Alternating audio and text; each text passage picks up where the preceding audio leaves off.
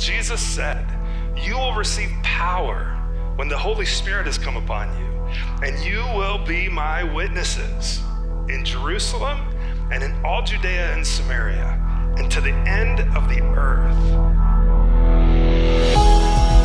What does Jesus' mission look like here?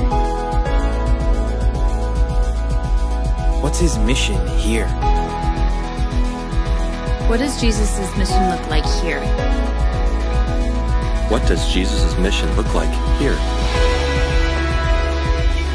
What is Jesus' mission here? How do I know what Jesus' mission is?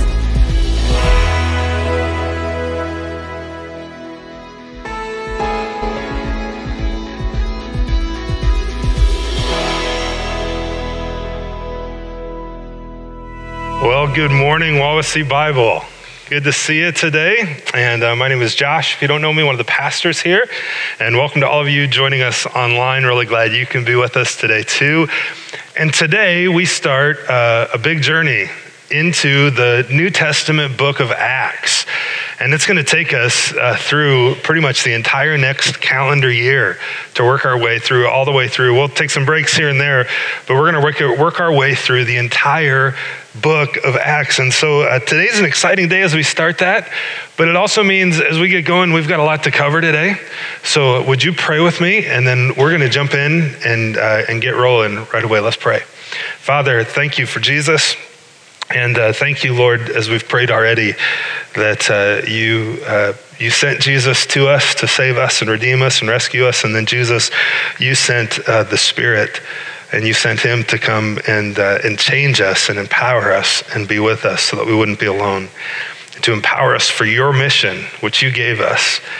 And so uh, help us to discover that, uh, to see that, that you haven't quit doing uh, your work, that, that you're still at work now in your church, just as you were in the book of Acts, and you will be until Jesus, your return. So, Holy Spirit, uh, use me today, speak to and through me as we uh, look at your word that you wrote, and uh, pray all this in Jesus' name. Amen. Well, if you got your Uh, open up to the book of Acts. Acts is in the New Testament. And uh, if you find Matthew, Mark, Luke, John, uh, you're close. Just keep turning to the right, and you'll get to the New Testament book of Acts. And we're just going to start right here in verse 1 and start working our way through this New Testament book. So let's look at it together.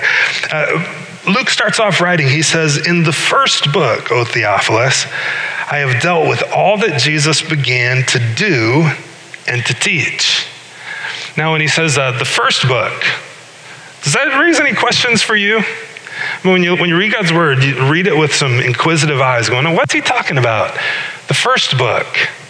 Well, the first book is actually the Gospel of Luke because the writer of the book of Acts is a guy named Luke, who we're going to see here in a moment was a doctor. And he wrote the Gospel of Luke as one volume, and then he wrote the, the, the uh, account of Acts as the second volume in that same series. In fact, if you could see them both on a scroll, they're both almost the same length. They follow the same conventions of ancient historiography. And uh, uh Luke was writing a history of Jesus and now the early church and how the church began. And, and he writes to this guy named Theophilus.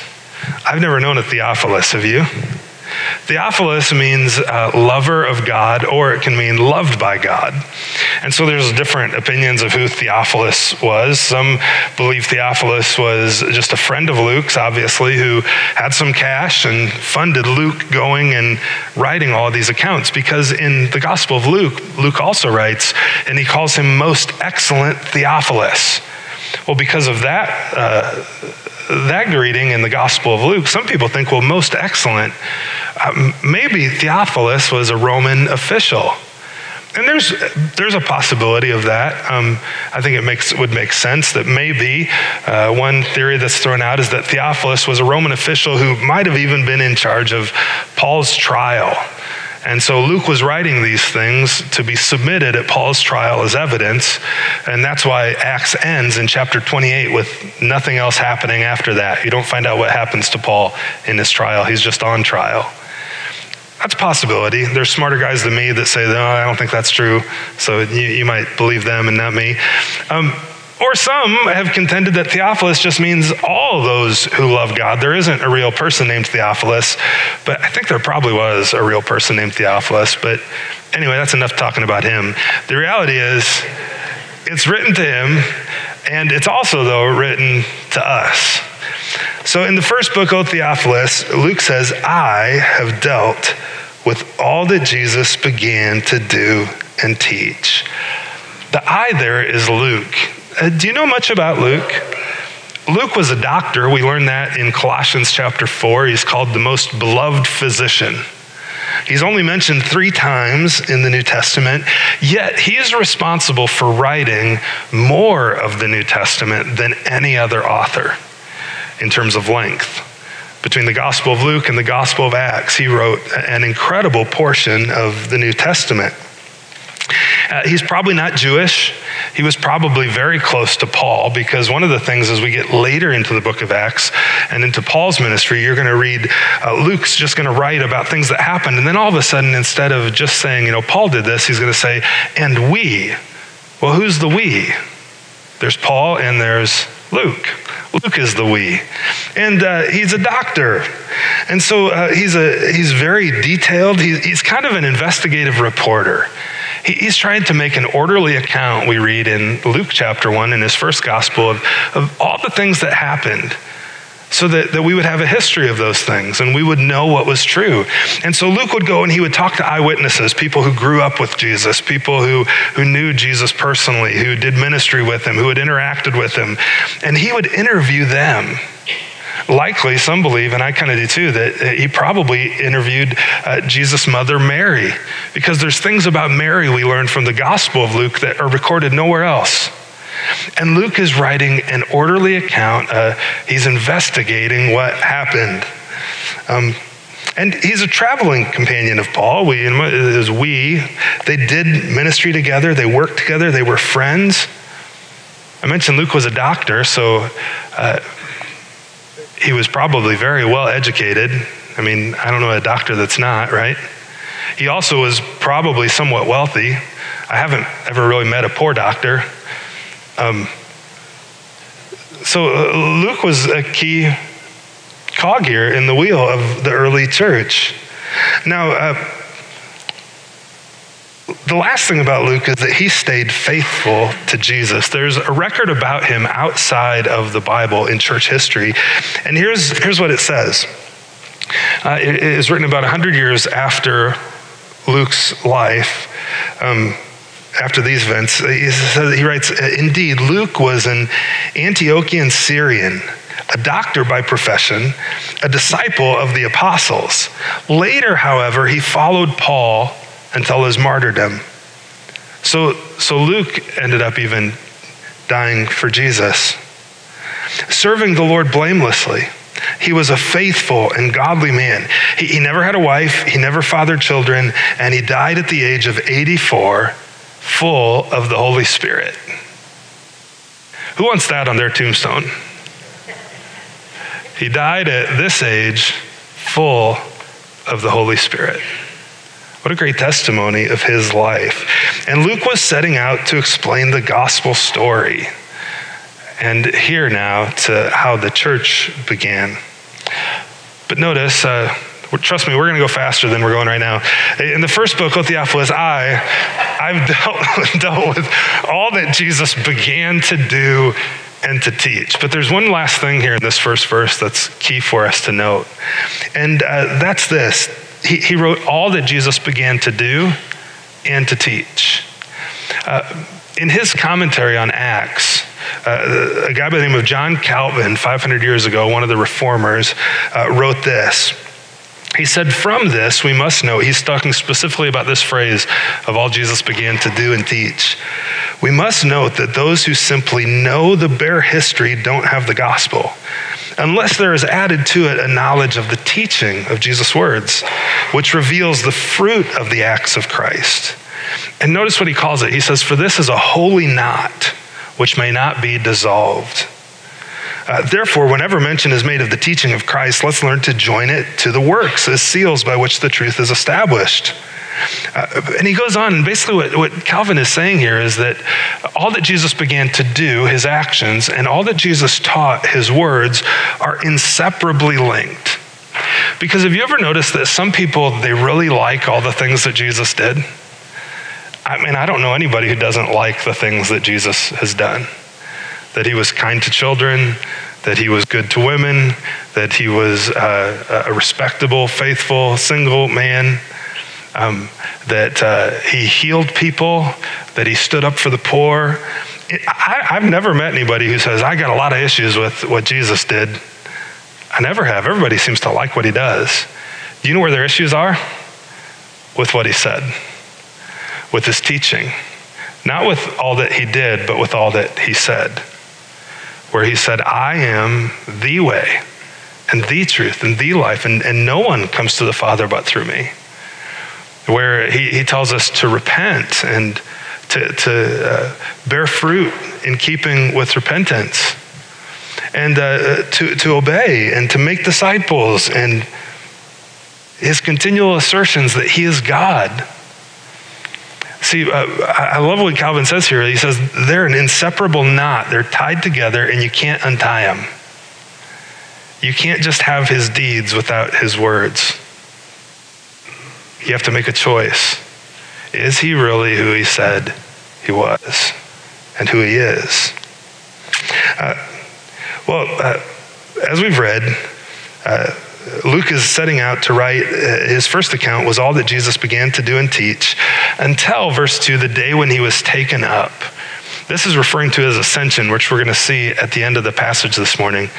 After he had given commands through the Holy Spirit to the apostles whom he had chosen. Uh, Jesus uh, gave commands to the apostles, and he does it through the Holy Spirit, whom we're going to see a lot of in uh, a study through the book of Acts. And these apostles, in Acts 17, we read that, that these are the guys, uh, they, they call them the guys who turned the world upside down, following the commands that Jesus gave. And uh, here's the point when Jesus was taken up, when he ascended and left the earth physically, he, he didn't leave us with nothing to do. Uh, Jesus left us with a mission. He left us with a mission. He left us with things to do.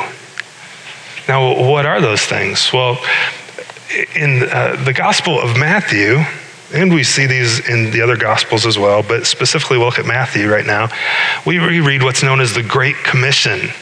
This is at the end of the Gospel of Matthew. Jesus tells his disciples, and probably about 500 people, potentially, in my opinion, who are there listening Go therefore and make disciples of all nations, baptizing them in the name of the Father and the Son and the Holy Spirit, teaching them to observe all that I've commanded you.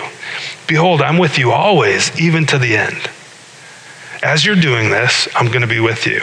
Now, the one command in here, sometimes we think, oh, it's go oh, it's teach, oh, it's baptize. It's, it's actually make disciples.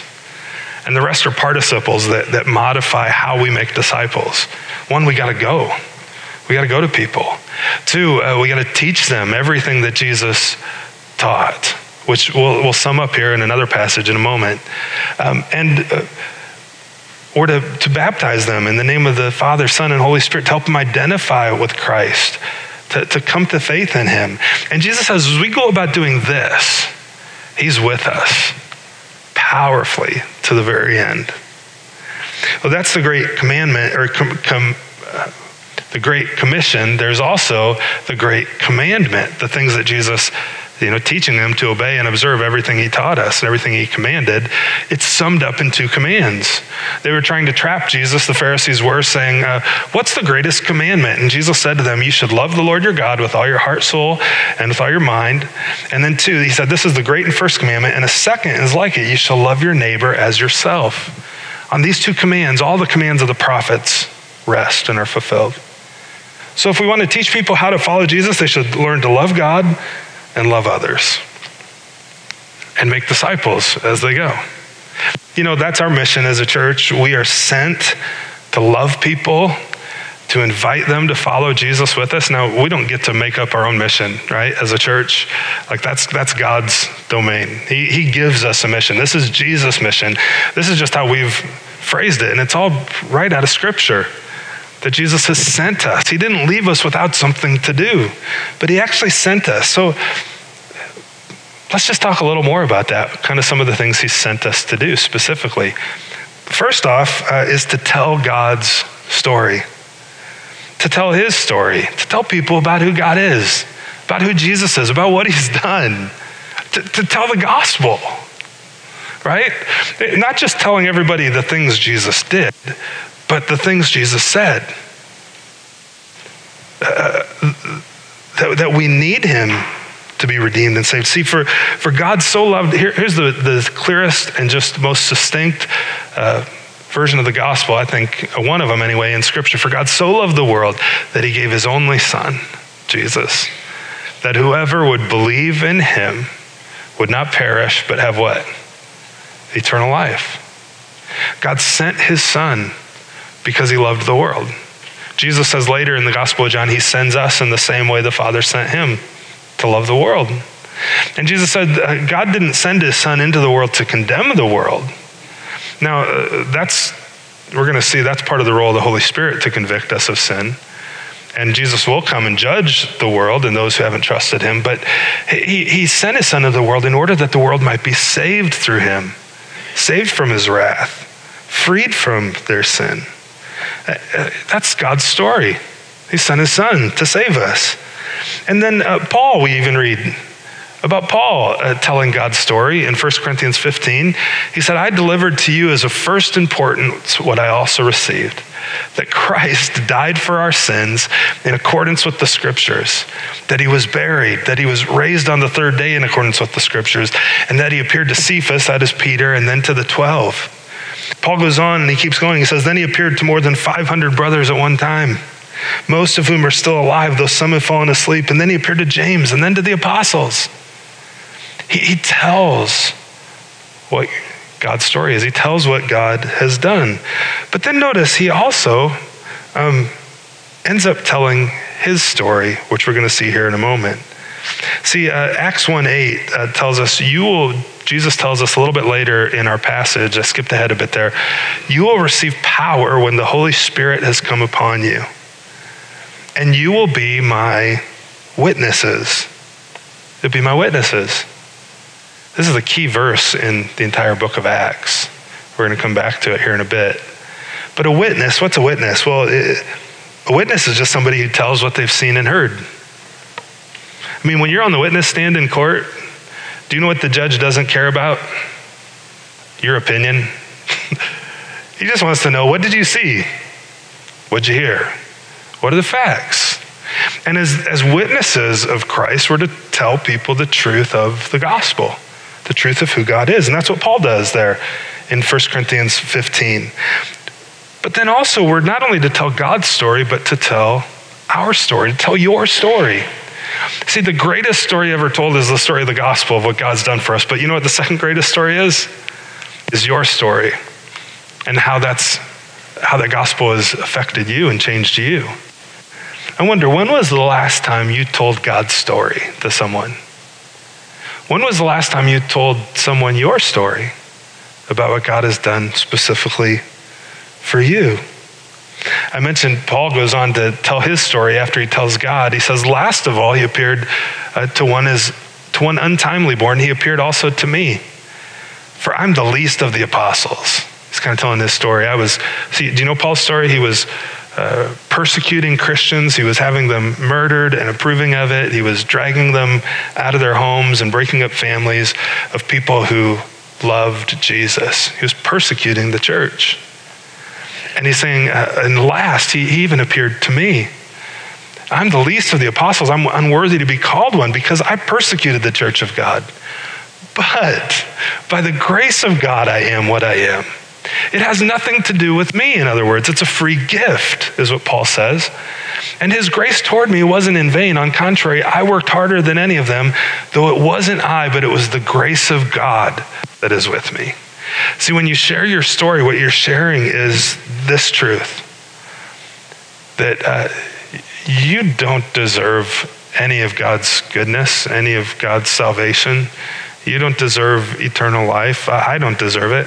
In fact, I deserve to spend eternity in hell uh, under the, God's wrath for my sin. I don't deserve to be called his child. But it isn't about me. It's not about how good I am, it's about how good God is and His grace. And His grace came to me in Jesus Christ. And so now I'm made new, I'm changed. I don't have to earn my favor before Him, but I get to live out the favor that He's put on my life. It's telling God's story and your story. The psalmist would do this Come, hear, all you who fear God, and I'll tell you what He's done for my soul. What's God done for you? We were singing earlier, uh, give thanks to the Lord. His love endures forever. Be glad this is the day the Lord has made. What's He done for you? Maybe you need to jot some of those things down, even in your notes this morning as you go. And be willing to open your mouth and tell that story to others. Jesus told the demoniac after he healed him, Return to your home. He sent him out. Declare how much God has done for you. Friends, one of the things we're going to see in the book of Acts as God uh, births the church is that the mission of the church then is the same as it is now. And you know what a big part of it is? It's right here going out and telling everyone the good things God has done for us. Telling them God's story, but also telling them your story. In a day and age when everything is relative, you know, they, they might think, ah, you can, I don't know about that. Jesus is the only way. I'm not so sure. You know what they can't argue with? They can't argue with your story. You say, well, you might not believe it, but let me tell you what he's done for me. Let me tell you how he's changed me. And as you speak that and live that, the Holy Spirit will use that. But here's the deal to do that, to, to share God's story, to share your story, it's really hard to do in your own strength, isn't it? Some of you, maybe you're cringing right now thinking, I don't know that I want to do that. I don't know that I can do that. well, you're right, you can't. See, uh, Jesus left us with a mission, but to do it, we need His power. You need His power. I do. I need it. That's why Jesus said in verse 8, but you will receive power. You'll receive it. Not stir it up, but you'll receive it when the Holy Spirit comes when it's coming, when he's come upon you, and, and then you'll be my witnesses in Jerusalem and Judea and Samaria. Uh, one of the ways we see God's power is in Jesus' resurrection. If we skip back again now to verse 3, earlier here in, in Acts 1, after Jesus appeared, uh, gave commands, uh, Luke tells us he presented himself alive to them after his suffering by many proofs appearing to them during 40 days and speaking about the kingdom of God. Uh, Luke doesn't tell us what all the proofs are, but we know a handful of them from Scripture, and they must have been pretty convincing. Uh, one of them eats breakfast with his disciples on the beach. I mean, if, if you were at a funeral one day and then three days later, uh, you're out to breakfast with that guy whose funeral you were at, and you watch him eat, you know, you talk for a while over breakfast. Would, would that be convincing proof for you that maybe he'd risen from the grave? Yeah. Or uh, some people came and they, they touched him physically, like Thomas. He's like, I'm not going to believe until I see the wounds, until I can touch them. And Jesus says, Here, put your hand here. Touch them. Put your hand on my side. See, Thomas, and believe. He, he, many convincing proofs over 40 days. It wasn't like just a, he, he, you know, flashed in the sky for an hour and then it was really subjective. Does that, you sure that's what you saw? No, he was around for over a month, hanging out with these guys and interacting with people. And, and they saw him by many convincing proofs to be fully alive, this Jesus who had been crucified. And that resurrection, eh, that, that power that raised Christ from the dead, uh, Paul tells us in Ephesians, is the same power that, that works in us. It's the same power that works in us. And the resurrection gives us hope. It gives us hope. You know, um, Paul writes in 1 Corinthians, he says, if Christ hasn't been raised, your faith is futile. You're still in your sin. And, and those who've fallen asleep in Christ, they're, they're not with him, they're just dead. But if in Christ we have hope in this life only, we're, we're to be the most pitied. But in fact, Christ has been raised from the dead, the first fruits of those who have fallen asleep. Peter tells us that uh, because of Jesus, we have a living hope through his resurrection. Not a hope that's dead, but a hope that's real. See, Luke tells us right off the bat, before we even get into to the activity in the book of Acts, that Jesus appeared alive, this one who was crucified, by many convincing proofs. And because of that, the, the church had incredible hope. And not only hope, but then uh, Jesus sends a spirit and they have power. Because here's what Jesus says uh, while staying with them, he ordered them not to depart from Jerusalem. This is Luke continuing. After he had risen from the grave, he appears to them, he's staying with them, and he says, Hey, don't leave Jerusalem, but you need to wait for the promise of the Father, which he said, You've heard from me. For John baptized with water, but you will be baptized with the Holy Spirit not many days from now. The Holy Spirit is coming as your helper. And, and the Holy Spirit will give you power. If the resurrection is hope, the, the Holy Spirit gives power. He, emp- he would empower the early disciples, the early church for Jesus' mission. And by the way, uh, the Holy Spirit's God. God does not change. The Holy Spirit's still doing the same thing now that He did then. He's empowering His church, you and I, for Jesus' mission. That's why Jesus says, uh, you to wait in Jerusalem and you will receive power when the Holy Spirit has come upon you. And you'll be my witnesses in Jerusalem and Judea and Samaria and to, to the ends of the earth. That's what Jesus says. You will receive power when the Holy Spirit has come upon you. And you will be my witnesses in Jerusalem and Judea and Samaria, even to the ends of the earth.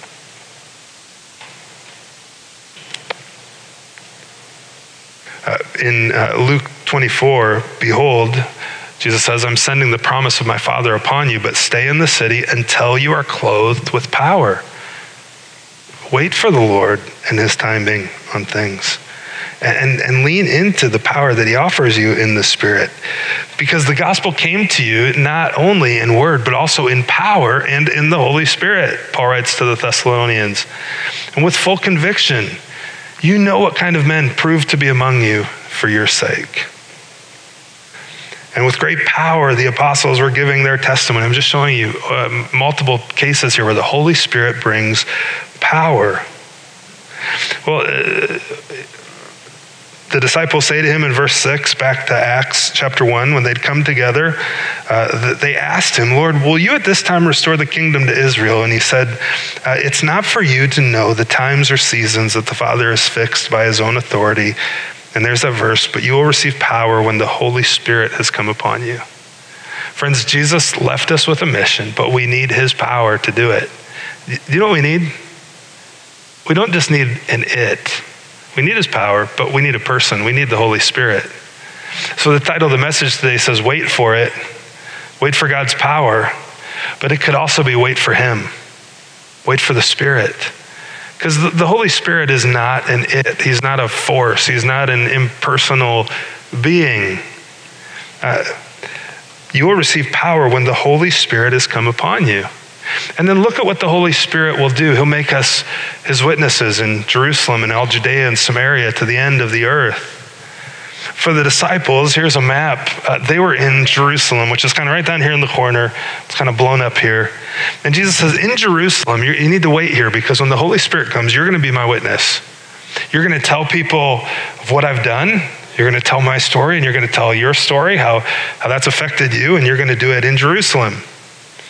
And then what's going to happen is, in the power of the Spirit, it's going to spread, and not just from Jerusalem, but also to Judea surrounding Jerusalem. and then even into Samaria. And finally, through you, in the power of the Spirit, the gospel is going to spread. My mission is going to spread to the very ends of the earth. even to some cornfields in Indiana. He didn't say that, but he implied it. You know, if Jesus had written this to us, uh, we have the same mission, friends. He's left us with a mission too to be his witnesses. Uh, in his power, by the power of the Spirit in, in Wawasee. And in, in all of Kosciusko County, or Noble County, or Elkhart County, wherever you might live. In fact, all of northern Indiana, the gospel will spread. And it'll spread even from here to the ends of the earth. And so we're to wait on the Lord for his power, for his strength, and then participate with the Holy Spirit in what he's doing on Jesus' mission. Do you see? You'll receive power. And when he had said these things, as they were looking on, he was lifted up, and a cloud took him out of their sight. And while they were gazing into heaven as he went, behold, uh, two men stood by them in white robes. Now, I, I kind of want to see this on video someday imagine they had been with Jesus for a few years of their life. They'd watched him die on the cross, and they'd seen now uh, astonishing proofs that he was truly alive and he was with them. And he tells them, You need to wait here until the Holy Spirit comes. And then all of a sudden, he just starts going up. But they're like, Are you seeing this? And they watch and they just kind of, I mean, they, they had to have just stood there, just like, what just happened? All right, we're waiting. So when's the Spirit come in? Like, is he just going to crash something on us right now? And I don't know how long they stood there just staring at the sky.